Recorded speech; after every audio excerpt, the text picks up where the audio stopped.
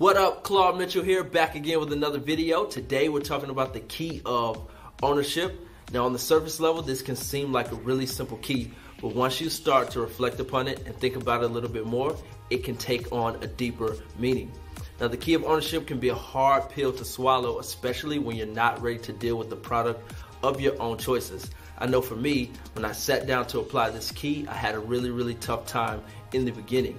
One thing I really wanted to take ownership of in my life was my health. You know, I was going to the gym, I was doing the things that I needed, but I wasn't getting the results that I desired. And so I started to make excuses for myself and I started to say, you know what, maybe it's the gym. So I said, you know what, if I switch gyms, maybe I get that product. I switched gyms, guess what? Still the same results. Then I started to make more excuses and I was like, you know what, maybe it's my routine. The routine is probably not working. So I switched my routine, and guess what? I was still getting the same results.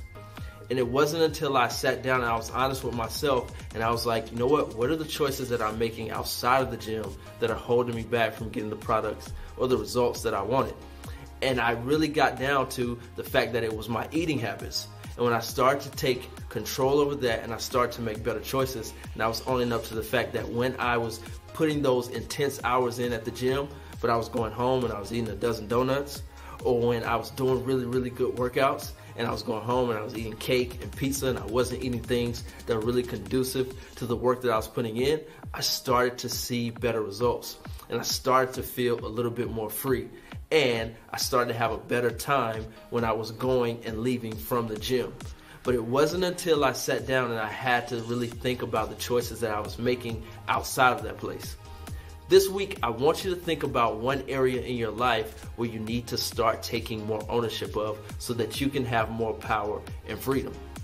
When you have that one thing, comment below in the comment section. Let's start a dialogue and let's talk about how we can start to hold each other accountable to putting more ownership in our life. Be sure to like this video. Be sure to comment. Make sure you subscribe if you haven't already. Also, share with one person that you know that needs to start taking a little bit more ownership over their life as well.